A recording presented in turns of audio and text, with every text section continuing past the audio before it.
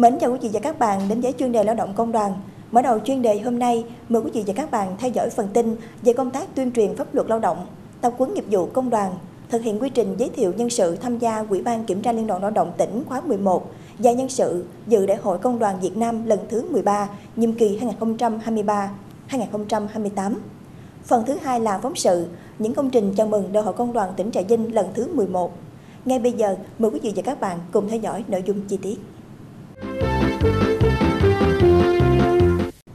Thú vị và các bạn, vừa qua, Liên đoàn Lao động tỉnh Trà Vinh phối hợp với Bảo hiểm xã hội tỉnh tổ chức tuyên truyền đối thoại chính sách bảo hiểm xã hội, bảo hiểm y tế và bảo hiểm thất nghiệp cho người lao động công ty cổ phần dược phẩm TV Farm, phường 9, thành phố Trà Vinh. Tại đây, cán bộ Liên đoàn Lao động tỉnh cùng Bảo hiểm xã hội tỉnh tuyên truyền phổ biến giáo dục pháp luật cho gần 150 người lao động về các nội dung như tổ chức đối thoại, tư vấn các chế độ chính sách liên quan đến bảo hiểm xã hội, bảo hiểm y tế, bảo hiểm thất nghiệp, tuyên truyền ứng dụng bảo hiểm số, các vấn đề liên quan hợp đồng lao động, thỏa ước lao động tập thể của doanh nghiệp, an toàn vệ sinh lao động, tuyên truyền phòng ngừa nạn tín dụng đen. Thông qua đây giúp người sử dụng lao động và người lao động hiểu rõ và chấp hành tốt pháp luật về bảo hiểm xã hội, bảo hiểm y tế, đồng thời nâng cao hiểu biết nhận thức của người lao động để nắm vững quyền lợi và nghĩa vụ của mình.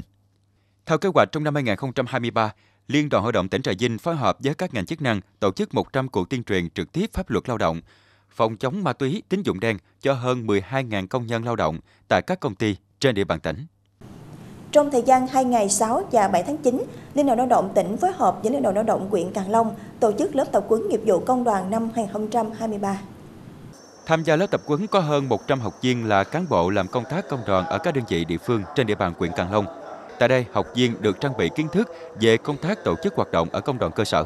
hướng dẫn trình tự thủ tục thực hiện mô hình, công dân học tập, xây dựng cơ quan đơn vị doanh nghiệp đạt chuẩn văn hóa, hướng dẫn hoạt động Ủy ban kiểm tra công đoàn và hoạt động của Ban thanh tra nhân dân, những điểm mới công tác thu chi tài chính công đoàn. Qua lớp tập huấn nhằm giúp cho đội ngũ cán bộ làm công tác công đoàn ở các đơn vị địa phương nắm vững lý luận, nghiệp vụ và kỹ năng thực hiện các chương trình hoạt động, công tác thu chi tài chính. Từ đó góp phần thực hiện tốt các chức năng nhiệm vụ của Tổ chức Công đoàn Việt Nam, chăm lo bảo vệ quyền và lợi ích hợp pháp chính đáng cho đoàn viên người lao động, đồng thời xây dựng tổ chức công đoàn càng vững mạnh. Liên đoàn Lao động tỉnh Trà Vinh vừa tổ chức hội nghị thực hiện quy trình giới thiệu nhân sự tham gia Ủy ban kiểm tra và nhân sự tham dự Đại hội Công đoàn Việt Nam lần thứ 13, nhiệm kỳ 2023-2028. Tại hội nghị, bà Trần Thị Kim Trung, Chủ tịch Liên đoàn Hội đồng tỉnh, đã trình bày tóm tắt đề án nhân sự Ủy ban kiểm tra, chức danh chủ nhiệm và phó chủ nhiệm Ủy ban kiểm tra và đề án nhân sự tham dự Đại hội 13 Công đoàn Việt Nam nhiệm kỳ 2023-2028. Hội nghị thông qua quy định tiêu chuẩn chức danh điều kiện, tiêu chuẩn cơ cấu chủ nhiệm, phó chủ nhiệm, ủy viên Ủy ban kiểm tra Liên đoàn Hội đồng tỉnh, tiêu chuẩn điều kiện đại biểu được bầu dự Đại hội 13 Công đoàn Việt Nam. Trên tinh thần khẩn trương nghiêm túc, các đại biểu tiến hành thảo luận dân chủ, công khai và khách quan. Qua đó thống nhất cao với đề án nhân sự. Hội nghị thực hiện quá trình lấy phiếu tín nhiệm nhân sự Ủy ban kiểm tra, chức danh chủ nhiệm, phó chủ nhiệm Ủy ban kiểm tra và đại biểu dự đại hội 13 Công đoàn Việt Nam. Kết quả lấy phiếu tín nhiệm đạt tỷ lệ hơn 90%. Các đại biểu nhất trí nhân sự tham gia Ủy ban kiểm tra Liên đoàn Hội đồng tỉnh khóa 11 gồm 9 đồng chí.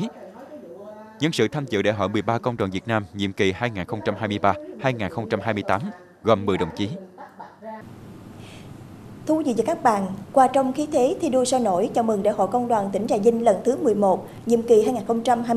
2023-2028, các cấp công đoàn tỉnh Trà Vinh tập trung phát động và lan tỏa mạnh mẽ các phong trào thi đua yêu nước.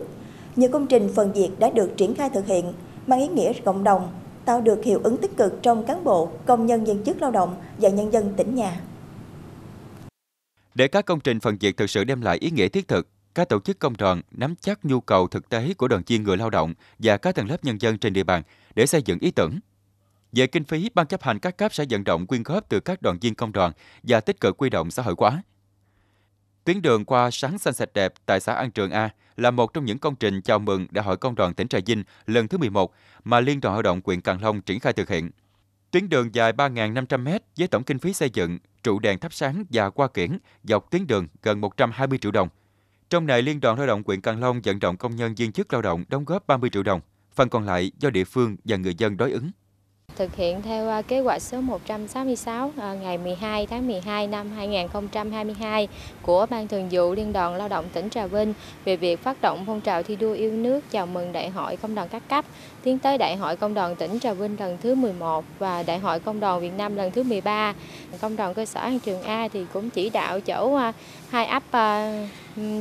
Trung ấp Trung Thiên và ấp La Co A để mà tổ chức họp dân lấy ý kiến về việc à, đóng góp kinh phí để mà xây dựng tuyến đèn đường. Thì à, sau khi mà họp dân lấy ý kiến xong thì à, được bà con nhân dân rất là đồng tình hưởng ứng. Và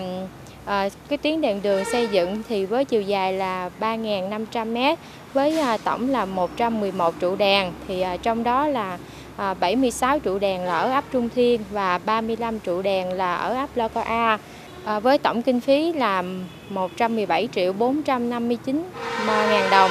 Thì à, trong đó thì Liên đoàn Lao động huyện Càng Long là hỗ trợ là 30 triệu đồng còn lại vận động mạnh thường quân là 24 triệu 500 ngàn đồng và à, còn lại là 62 triệu đồng là do bà con nhân dân đóng góp.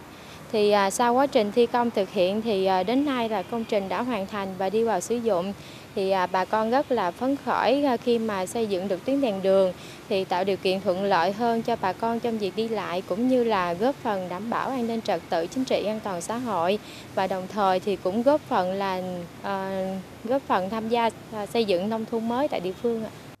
Từ đầu năm 2023 đến nay, Liên đoàn Lao động huyện Càng Long đã thực hiện và phối hợp thực hiện rất nhiều công trình phần việc có ý nghĩa hướng về cơ sở như đường giao thông nông thôn, thắp sáng đường quê, xây dựng và chăm sóc nhiều tuyến đường qua. Các công trình hoàn thành và đưa vào sử dụng đã đem lại hiệu quả tích cực, tạo thuận lợi cho nhân dân trên địa bàn huyện. Tuyến đường là địa phương vận động bà con trồng hoa cho tuyến đường ờ, xanh, sạch đẹp, cho tuyến đường ờ, cho nông thôn mới nâng cao cho đẹp hơn. Trước đây là cái tuyến đường là chưa có đèn đường là trộm cướp là mất giặt là cũng như chó rồi gà vịt rồi uh, tai nạn giao thông rồi từ có đèn tới giờ là tai nạn giao thông thì nó giảm đi. Trước thêm đại hội công đoàn tỉnh Trà Vinh lần thứ 11, nhiệm kỳ 2023-2028, Liên đoàn Lao động huyện Càng Long tiếp tục phát động mạnh mẽ các đợt thi đua cao điểm trong công nhân viên chức lao động, gắn với các hoạt động chăm lo đời sống, bảo vệ quyền và lợi ích hợp pháp chính đáng cho đoàn viên người lao động. À, Liên đoàn Lao động huyện Càng Long có à, 99 công đoàn cơ sở trực thuộc à, với trên 3.700 công nhân viên chức lao động. Song song đó, nhằm thực hiện thắng lợi các cái chỉ tiêu, nhiệm vụ trọng tâm chủ yếu của nhiệm kỳ đại hội công đoàn huyện, Ban Thường vụ Liên đoàn Lao động huyện đã tập trung hướng dẫn cũng như là chỉ đạo và giao chỉ tiêu, nhiệm vụ tổ chức thực hiện phong trào thi đua trong các cái công đoàn cơ sở trực thuộc. Thì theo đó mỗi cái công đoàn cơ sở À, đăng ký và thực hiện ít nhất một công trình à, hoặc là một phần việc à, hoặc là một cái sản phẩm thiết thực. Thì qua đó là có 100% công đoàn cơ sở đăng ký à, và thực hiện trên à, 200 công trình phần việc. Thì tổng trị giá trên 1 tỷ đồng. Sau khi hoàn thành, các công trình đã đem lại hiệu quả tích cực, từng bước tạo sự đột phá trong công tác công đoàn, đồng thời thể hiện tinh thần ý chí của công nhân viên chức trong thi đua lao động sáng tạo, lập thành tích chào mừng đại hội lần thứ 11 công đoàn tỉnh và đại hội lần thứ 13 Công đoàn Việt Nam, nhiệm kỳ 2023-2028. Quý vị và các bạn thân mến, chuyên đề lao động công đoàn kỳ này đến đây xin tạm dừng. Cảm ơn quý vị và các bạn đã dành thời gian quan tâm theo dõi. Xin kính chào tạm biệt.